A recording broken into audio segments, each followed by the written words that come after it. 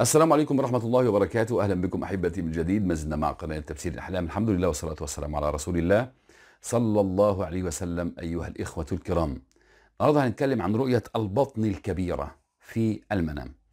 أيها الإخوة الكرام بداية رؤية شق البطن وإخراج شيء منها. هذه الرؤية محمودة وليست مذمومة تدل على زوال الهموم والأحزان.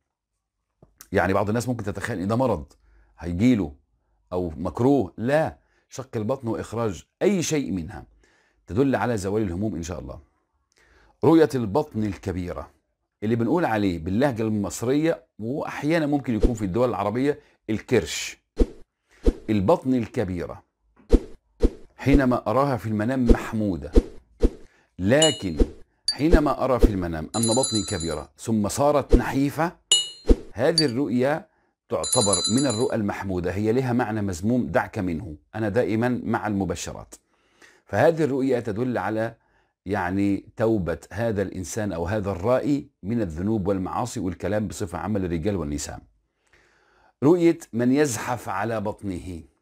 هذه الرؤيا تدل على أن الرائي يقوم على قضاء حاجة الآخرين. رؤية من يطوي بطنه أو يشفط بطنه. يعني هي بطنه كبيرة وبيحاول يشفطها يدخلها لجوه كده.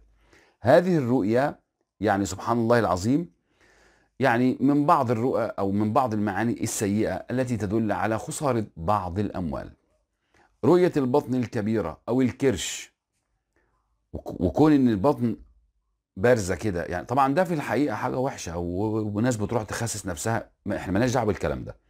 إنما رؤية الكرش أو البطن الكبيرة في المنام أحيانا تدل على الأولاد وأحيانا تدل على كثرة الأموال. الإمام النابلسي طبعا كلنا ذكرته ده كلام الإمام ابن سيرين. الامام الإمام ابن نبو... الإمام النابلسي بخلاف ابن سيرين له كلام تاني خالص.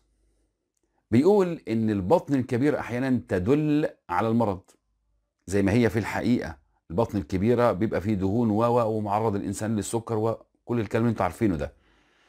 فأحيانا تدل على المرض وأحيانا تدل على الصحة العكس وأحيانا تدل على السجن.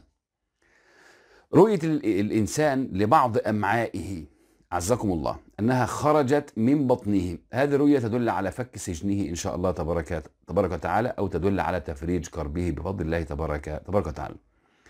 رؤية من فقد بطنه بطنه كانت كبيرة قدامه كده مش لاقيها. يعني طبعا إحنا دايما نقول إن الأحلام ملهاش قاعدة. أنا ممكن أشوف حاجات غريبة جدا. يعني أنا ممكن أشوف راسي فوق عينيا فوق راسي كده. أو ممكن أشوف مثلا عينيا بقت بقت في صدري. لا الأحلام ملهاش قاعدة.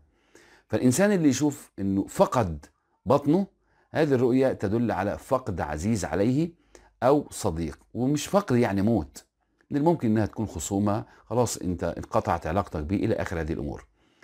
رؤية النار تخرج من البطن. هذه الرؤية تدل على أنك إنسان. وطبعا دي واضحة دي آية في القرآن الكريم معناها أن أنت آكل لأموال اليتامى.